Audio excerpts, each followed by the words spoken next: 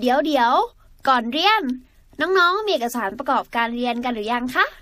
เข้าไปโหลดฟรีได้ที่แอป Nestle School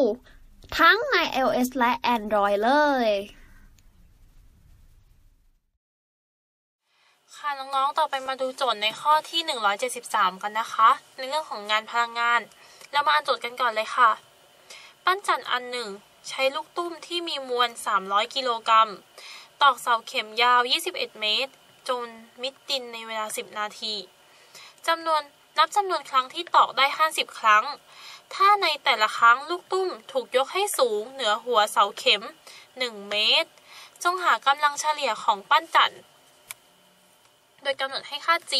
เท่ากับ 10 เมตร ต่อวินาทียกกำลังสอง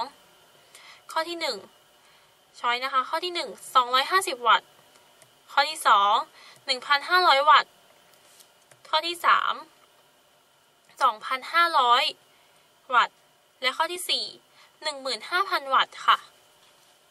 ซึ่งเมื่อเราคิดเนี่ย ข้อนี้เราจะได้ว่าในการยกลูกตุ้มแต่ละครั้ง เราต้องทำงานเท่าไหร่เอ่ย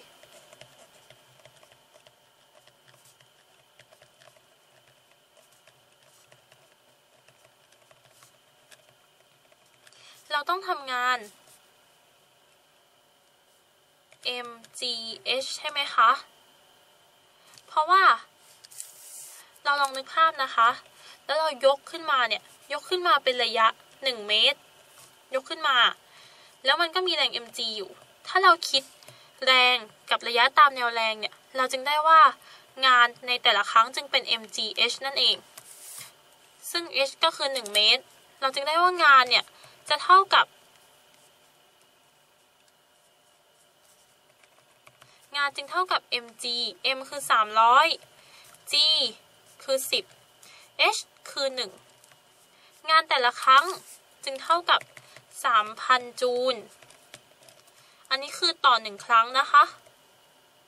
แต่ในข้อนี้เขาบอกว่า 50 ครั้งใช่ไหม50 ครั้งในการตอกแล้วเขาให้หากำลัง ซึ่งในข้อนี้เราก็เริ่มจะชัดเจนแล้วว่าเราจะหากำลังจากไหนคะ งานส่วนเวลานั่นเอง เพราะในข้อนี้เขาให้เวลามา เราจะหาแค่งาน ซึ่งต่อไปเราจะไปดูต่อว่าใน 50 ครั้ง ก็จะทำงานทั้งหมดเท่าไหร่คะ เป็น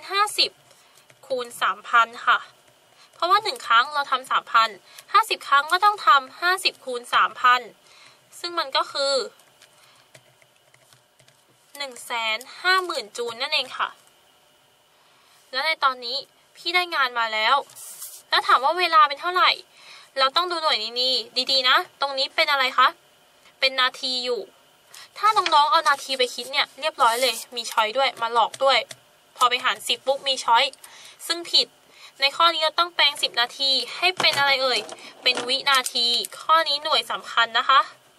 ดาวไว้เลย ข้อนี้จึงเป็นเวลาเนี่ยจึงเท่ากับ ใช้สัญลักษณ์ที เวลาจะเท่ากับ 10 คูณ 60 เพราะ 1 นาทีมี 60 วิ 10 นาทีก็เลยมี 10 คูณ 60 หรือ 600 วินาที ตอนนี้พี่ได้เวลามาแล้ว พี่ก็นำไปหาค่า p ได้แล้วค่ะ หรือค่ากำลัง จาก p เท่ากับ w ส่วน t w ที่เราคิดได้คือเท่าไหร่เอ่ย คือ 1 5 0 0 0 0ารด้วยเวลา เวลาคือ600น้องๆก็จะเห็นว่ามันตัดกัน3อะ6ตัดเลย ตอนแรกจะใช้3เราจะใช้6เลยก็ได้ ตรงนี้ตัด6หาร6ปุ๊บเป็นเท่าไหร่คะ6 2 12ตรงนี้30 6 5 30 250ในข้อนี้จึงตอบ 250 วัตต์นั่นเอง ซึ่งตรงกับช้อยที่ 1 ในข้อนี้ก็เลยตอบข้อที่1นนะคะ โอเค เดี๋ยวเรามาจะมาสรุปกัน ในข้อนี้เขาถามหากำลัง พี่ก็พอจะนึกได้แล้วว่าเราต้องหางานกับเวลาก่อน แต่เวลาเขากำหนดมาให้แล้ว แต่เราต้องระวังหน่วย เวลามันเป็นนาทีอยู่ ห้ามคิดเด็ดขาด ไม่งั้นมันจะผิดทันทีเพราะมันมีช้อยมาหลอกด้วย ดังนั้นเวลาเนี่ยต้องแปลงให้เป็นวินาที ซึ่งมันก็คือ 600 วินาที ต่อไปเรามาหางานกัน ซึ่งเรารู้ว่าในการยกลูกตุ้ม รั้งเนี่ยงานเท่ากับ mgh ซึ่งมันมาจากไหน เรารู้ว่ามันต้องเราต้องยกด้วยแรง mg ใช่ไหมคะ ยกมันด้วยแรง mg ยกด้วยแรง mg แล้วก็สูง 1 เมตร ดังนั้นจึงได้เป็นแรงก็คือ mg คูณกับระยะทางคือ 1 จึงเป็น 3 300คูณ10คูณ1 g เราใช้ 10 เพราะว่าโจทย์กำหนดมาให้ จึงได้ว่าใน 1 ครั้งเนี่ย 1 ครั้งนะ งานที่ได้งานที่ใช้เนี่ยคือ 3,000 จูลทำให้ใน 50 ครั้งเนี่ยเราก็แค่คูณ 50 เข้าไป แล้วเราได้คำตอบออกมาเป็น 150,000 จูล จากนั้นก็นำไปแทนในนี้ค่ะ จาก p เท่ากับงานส่วนเวลา แล้วเราก็นำเวลาที่คิดได้เมื่อกี้มามาหารด้วยคำตอบจึงเป็น 250 วัตต์ ก็พบว่าตรงกับช้อยที่ 1 ในข้อนี้ก็เลยตอบข้อที่ 1 นะคะ เรียนจบแล้ว อย่าลืม เข้าไปฝึกทำข้อสอบแบบจับเวลา ในแอป Nestle School กันด้วยนะจ๊ะ ถ้าน้องๆมีคำถามสงสัย ไม่เข้าใจตรงไหน ถามว่าในแอปได้เลย แล้วพี่ๆจะรีบเข้าไปตอบให้นะคะ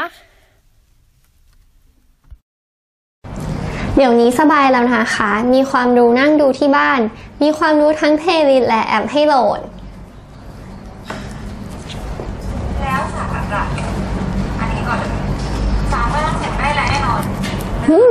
ติมก็อร่อย